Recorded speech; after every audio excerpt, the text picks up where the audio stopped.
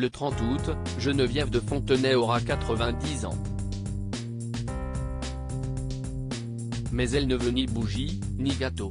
La dame au chapeau, qui vit plutôt modestement depuis qu'elle a été remplacée à la tête de Miss France par son ennemie éternelle Sylvie Tellier, laquelle serait à son tour sur la sellette, supporte très mal le fait de vieillisse, en plus de tout ce qui l'agace déjà régulièrement, de la participation de Miss transsexuelle au concours de beauté en passant par le vaccin contre le coronavirus.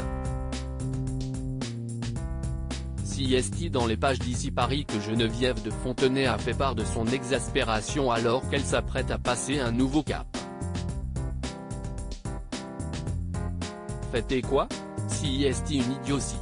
À partir de 80 ans, on ne devrait plus célébrer l'année qui vient de s'écouler.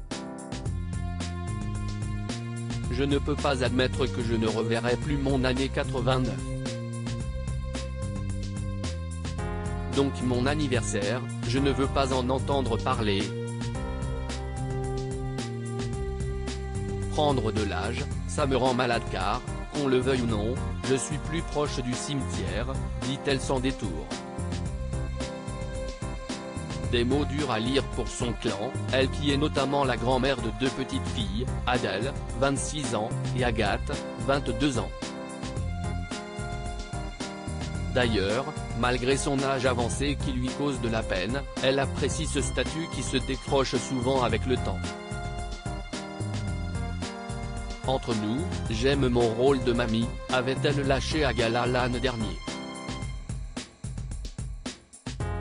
Dans Ici Paris, elle en dit un peu plus sur ses petites filles puisqu'on apprend qu'Adèle a fait des études en communication et un stage au Sénat alors qu'Agathe va rentrer prochainement dans une école en Slovénie pour devenir vétérinaire.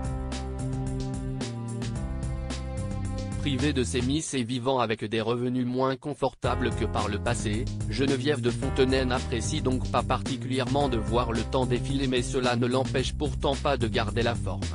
J'ai une vie simple et je suis en bonne santé. Reste que je n'arrive pas à croire que je vais avoir 90 ans. Je n'aille pas vu passer la décennie précédente, ajoute-t-elle. L'interview intégrale de Geneviève de Fontenay est à lire dans Ici Paris, édition du 24 août 2022.